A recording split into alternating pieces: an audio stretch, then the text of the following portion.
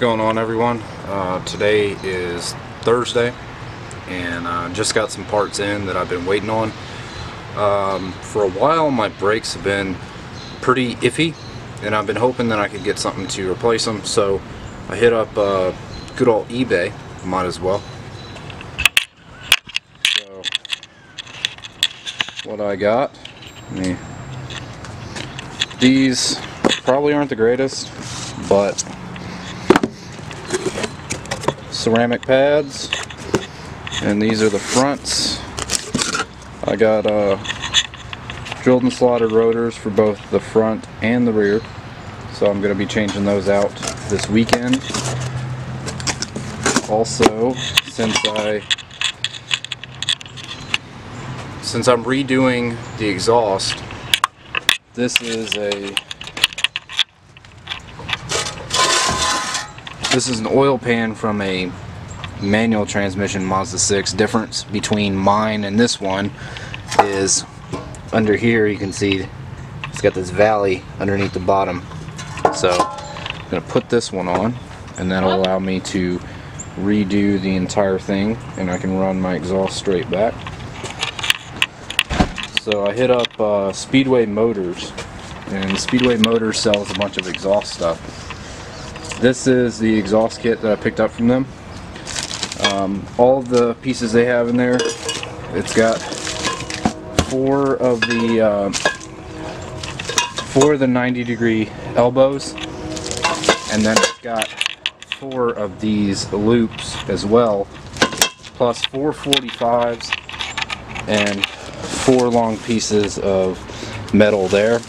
So between everything, I should be able to have enough exhaust pipe to go all the way from the front to the back and instead of running one single pipe. Normally this one and this one come off one pipe going straight all the way back and then it branches out to a Y. So instead of running one single pipe from each manifold, I'm to run a separate pipe as long as I have enough. I'm to run one separate pipe for each one. So it will actually be a true dual setup instead of being the single in dual out. So if that makes sense. Um, I have been kind of hurt for uh, the past week or so I have a torn muscle in my right arm, so I'm being real careful, trying not to strain it. But I'm going to get back into filming, and this will be the first part of it. Hopefully it works out. Hopefully you guys like the new camera, because I'm honestly loving it so far. Everything's coming out crystal clear, and I'm pretty happy with the results. So I'll check back with you guys very shortly.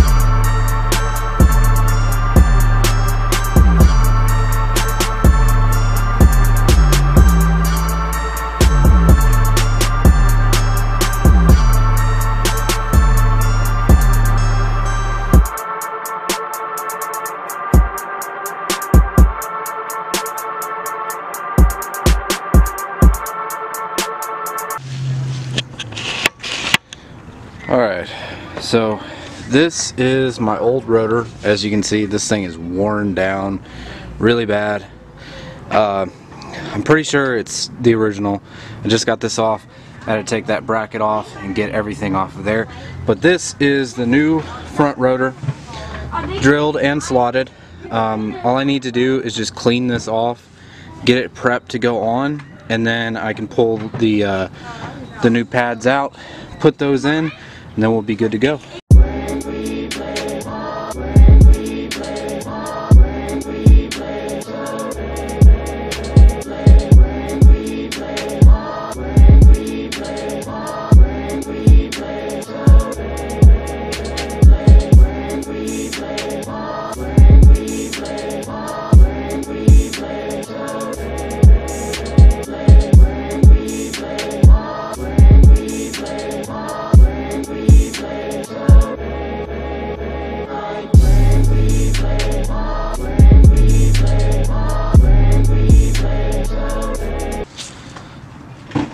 Alright, so new rotor's on. Got the slots going the right way. Drilled parts are going the right way. I went ahead and cleaned this whole thing off with a brake cleaner. You want to make sure that when you first get the rotors that you clean them off because you'll have the grease that stays in there to keep them from corroding. You want to clean that off, make sure that that's not on the rotor because when you first go to stop, once you put those on, the brakes are going to want to slip. So you need to make sure that you clean those off. I got the new pads that I got to put on. But first I got to put this uh, caliper bracket back on. And then once I put that on um, if you can see right there I've got some uh, grease that I put on there for the brake pads. I got to put some more of that on there get those greased up and then I can finish up this side. Um, I'm not going to show the other side because it's going to be repetitive but I'll show the back because the back is a lot different but the front is pretty easy. It's like any other common uh, Japanese car. So um, catch back in just a minute and I'll show you the end result. Alright I just got this side done. Uh, kind of running out of light but you can kind of see it there. I got the rotor on brake pads are in.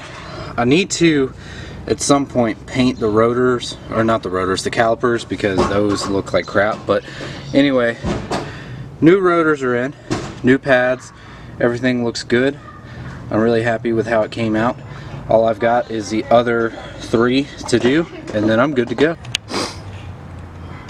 Alright guys, so as I was saying, this is the style for the back. Um, on this car, the way that the bearing's set up, you have to pull this dust cap off before you can get this rotor off. Uh, it makes it a lot easier if you take it off before you take the rotor off that way you can just transfer it on to the other one. But the way this is set up you have your if you can see right here that's your emergency brake cable and that goes into this caliper. Um, I will be lowering the back of this car. I just haven't had a chance to but um, right now I'm working on getting these rotors changed out. Now the back of course is a lot different like I said than the front. But once you slide this off of here as I I guess my back brakes were almost worn out all the way so it's a good thing I went ahead and changed them alright so this is the back one. Um, if you notice on here the back is not drilled all the way through and uh, it does have the slots on it. So that one is done I didn't run through the entire thing of, uh, of putting this on because I was just trying to make sure that everything would come off. These bolts were actually a pain to get off because I don't think they've been off for a long time. But I'm going to do the left side and see if that one comes out any better. And uh, I'll let you guys know what happens in just a minute. Alright, so I apologize about the bad lighting, but it is... Uh, almost 8 o'clock now but I'm on the left side. I've got both the rights done. All I've got left is this one. And um, if you can see how deep this ridge is right here these rotors were pretty close to being trashed. And um, when I pulled the brake pads off of this side they literally had nothing left. And they were very close to being completely worn out. So as soon as I get this changed out, um, I'm going to move to the front one, which you can't see because it's dark.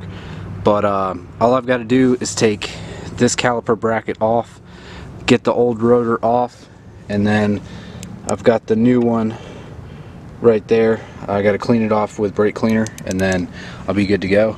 Um, also, now that you can actually see them, these are the hub centric rings that I was talking about. Um, I've had these on the car and they, they work really well. Um, I had some polycarbonate ones and they worked to an extent, but once you got to higher speeds, then they really didn't work very well. But um, I'm very happy with them. They've worked great. And uh, I'm just going to move on to getting that caliper bracket off, get everything put together, and then I'll show you something on these cars that's a little bit different. Uh, I know Volkswagens and Porsche have it in common, but I don't know if uh, any other cars have it. But I'll show you in just a minute. Alright, hopefully y'all can see this, but this is the piston for the rear caliper. This design is set up like the uh, Volkswagens, where you have to have a special tool to turn this and push it at the same time. And um, I know some of the Mazda Miatas have it, the Mazda 3, the Ford Focus, um, Volkswagen Passats and Jettas all have it, and some of the BMWs. But this uh, is more of a European design than Japanese, which is kind of strange that they put it on this car, but this is the biggest pain when you're doing brakes. And it's kind of why I don't like doing the rear brakes on here, but this is the last part of putting the rear brakes together. I've got uh, just a little bit left to go. I got the new rotor on and uh, everything's back together other than putting the caliper back on and new brake pads. But as soon as I do that, I'll button this up and then we'll go ahead and move to the front.